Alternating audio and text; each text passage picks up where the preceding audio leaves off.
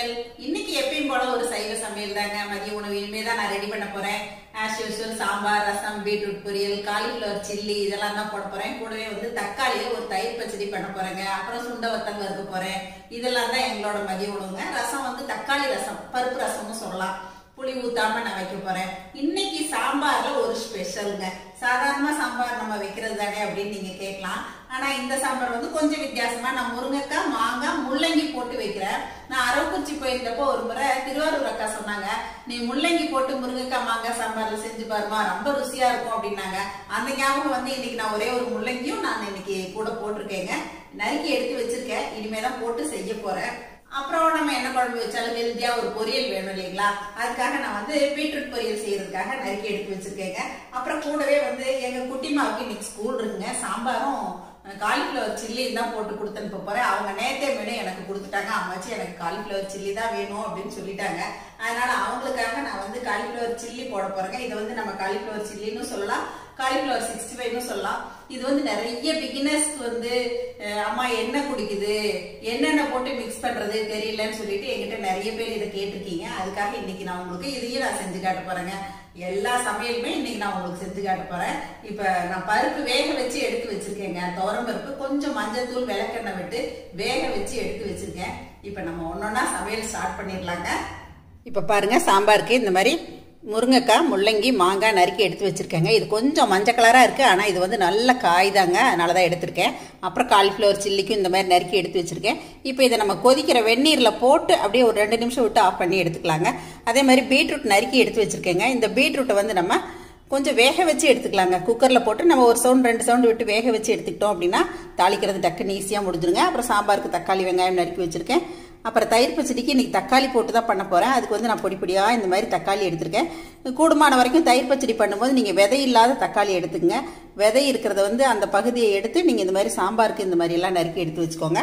அப்புறம் வந்து ரெண்டு தக்காளி போட்டு இன்றைக்கி தக்காளி ரசம் வச்சுக்க போகிறேங்க இப்போ நம்ம ஃபஸ்ட்டு சாம்பார்லேருந்து ஆரம்பிச்சிடலாங்க சாம்பாருக்கு வதக்கிறதுக்கு சும்மா ஒரே ஒரு டீஸ்பூன் அளவுக்கு நான் எண்ணெய் விட்டுக்கிட்டேங்க. கத்திரிக்காய் முருங்கைக்காய்லாம் அப்படியே போடலாங்க. இந்த முள்ளங்கி அவரைக்காய் இதெல்லாம் வதக்கிட்டு சேர்த்திங்கன்னா தான் சாம்பாருக்கு ரொம்ப நல்லாயிருக்கும். இப்போ இது ஒரு ரெண்டு நிமிஷம் வதங்கட்டுங்க. இப்போ முள்ளங்கி ரெண்டு நிமிஷம் வதங்கினதுக்கப்புறமா முருங்கைக்காய் இதில் சேர்த்துறேங்க. சாம்பாருக்கு தேவையான தக்காளி வெங்காயம் சேர்த்துறேங்க. நான் சின்ன வெங்காயம் தான் சேர்த்துருக்கேங்க. ரெண்டு தக்காளி சேர்த்துருக்கேன். இதுலேயே காரத்துக்கு தேவையான அளவு சாம்பார் தூள் சேர்த்துக்கலாங்க. பெருங்காயத்தூள் இதுலேயே கொஞ்சம் சேர்த்துக்கலாங்க. இப்போ சாம்பாருக்கு தேவையான உப்பு சேர்த்துடலாங்க. இப்போ நான் பருப்பு தண்ணி இதில் ஊற்றுறேங்க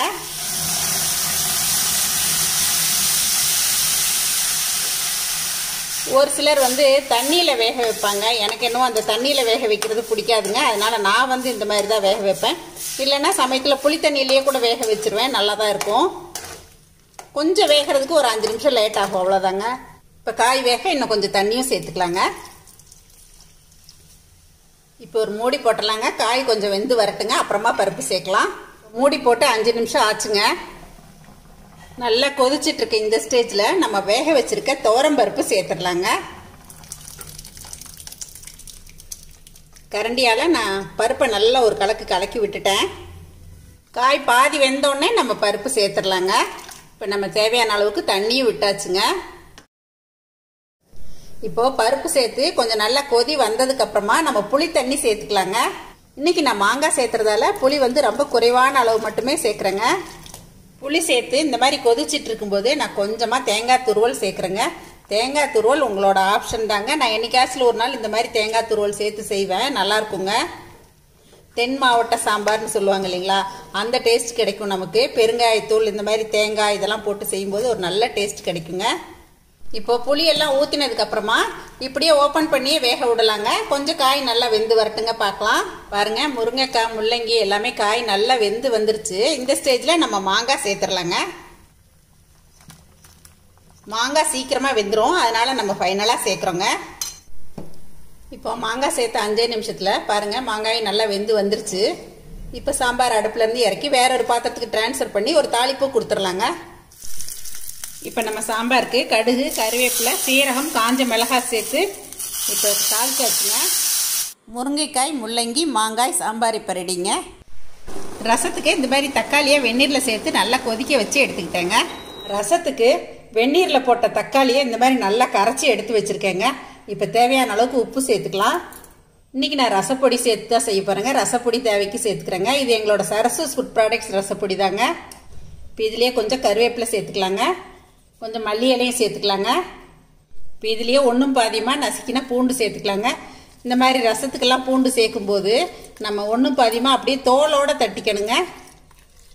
இப்போ நல்லா இதை கையில் கரைச்சி விட்டுக்கணுங்க. நம்ம கரைக்கிறதுல தான் ரசத்தோட ருசியே இருக்குங்க. கைமணன்னு சொல்லுவாங்க இல்லைங்களா? நல்லா கரைச்சிடணும். இப்போ நான் தேவையான அளவு பருப்பு தண்ணி சேர்த்துறேங்க. இப்போ இதுலேயே கொஞ்சம் அரிசி கழுவுன கழுநீர் தண்ணியை சேர்த்துக்கிறேங்க. மாதிரி கழுநீர் தண்ணி சேர்த்து செய்யும்போது ரசம் நல்லா ருசியாக இருக்குங்க. உப்பு புளிப்பு காரம் நம்ம தேவைக்கு ஏற்ற மாதிரி எல்லாமே சேர்த்துக்கலாங்க. இப்போ நம்மளோட ரசக்கலவை ரெடியாக இருங்க இப்போ அதை தாளிச்சிடலாங்க. இப்போ நான் பருப்பு ரசமும் தாளித்து விட்டுட்டேங்க. இப்போ பாருங்கள் கொதி பிடிக்க ஆரம்பிச்சிச்சு நல்லா கொதித்த உடனே கொஞ்சமாக மல்லித்தலை தூவி இறக்கியாச்சுன்னா நம்மளோட ரசமும் ரெடி ஆயிடுச்சுங்க. நறுக்கின பீட்ரூட்டை இந்த மாதிரி ஒரு குட்டி குக்கரில் சேர்த்துருக்கேங்க. தேவையான அளவு உப்பு சேர்த்துக்கலாம். இந்த மாதிரி கையில் தண்ணி வந்து தெளித்து விட்டுக்குங்க போதும். பீட்ரூட் வெந்துடும் இப்போ நம்ம இதை ரெண்டு விசில் வச்சு எடுத்துக்கலாங்க. இப்போ பீட்ரூட் வேக வச்சு எடுத்ததுக்கப்புறம் தாளிச்சிடலாங்க. கொஞ்சமாக எண்ணெய் விட்டு கடுகு உளுத்தம்பருப்பு சேர்த்துக்கலாங்க. நல்லா செவந்து வந்ததுக்கப்புறமா பெரிய வெங்காயம் ஒன்று நறுக்கினது சேர்த்துட்டு கருவேப்பிலையும் கொஞ்சம் சேர்த்தாச்சுங்க. இப்போ இதை கொஞ்சம் கண்ணாடி பதம் வதக்கிட்டு அதுக்கப்புறமா கொஞ்சம் வர மிளகாத்தூள் தான் நான் சேர்த்துருக்கேங்க. நீங்கள் காஞ்ச மிளகா சேர்த்துறதா இருந்தாலும் சேர்த்துக்கலாங்க. இப்போ இதை நல்லா பெரட்டி விட்டு அந்த தண்ணியெல்லாம் வற்றி வர்ற வரைக்கும் நல்லா கலக்கி விட்டுட்டு அதுக்கப்புறமா கொஞ்சமாக தேங்காய் துருவல் சேர்த்து பெரட்டி விட்டு இறக்கியாச்சுன்னா நம்மளோட பீட்ரூட் பொரியல் இப்போ ரெடி ஆயிடுச்சுங்க. இப்போ அடுத்து தக்காளி தயிர் பச்சடிக்கு நான் வந்து தக்காளி நறுக்கி எடுத்து வச்சுருக்கேங்க. தேங்காய் கொஞ்சமாக சேர்த்துக்கிட்டேன்.